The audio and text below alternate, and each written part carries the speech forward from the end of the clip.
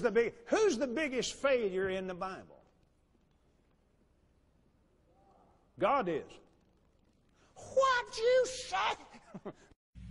You know, everybody asks you, say, who's the biggest failure? They say, Judas. Somebody else will say, no, I believe it's Adam. Well, how about the devil? He's the most consistent failure. okay. but he's not the biggest in terms of material failure and so forth. Biggest one in the whole Bible is God. Hmm. Oh, what, what, what? Don't you turn that set off. you listen to you, I told you now, you sit still a minute. You know me well enough to know I wouldn't, I wouldn't tell something I can't prove in the Bible. He lost his top ranking, most anointed angel, the first man he ever created, first woman he ever created, the whole earth, and all the fullness therein, a third of the angels at least.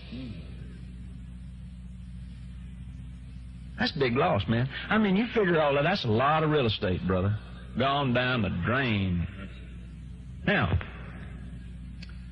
the reason you don't think of God as a failure is He never said He's a failure. no. And you're not a failure till you say you won.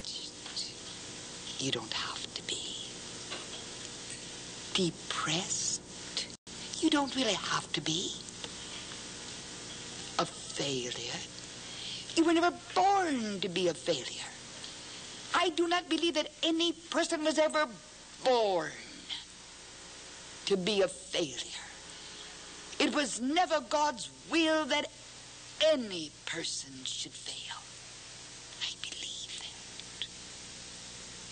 You were born to be his child. You were born to be a part of his great plan. But perhaps you've missed it all these years because you haven't given yourself to him. And it's the most glorious thing in the world to just look up and say, Wonderful Jesus, I can't do it myself. I've made such a mess of the whole thing. Will you just take me just now? I want God to be my Heavenly Father. I want Jesus Christ to forgive my sins. I turn my life, myself over to you. And with him, there can be no failure. For God knows no such thing as failure.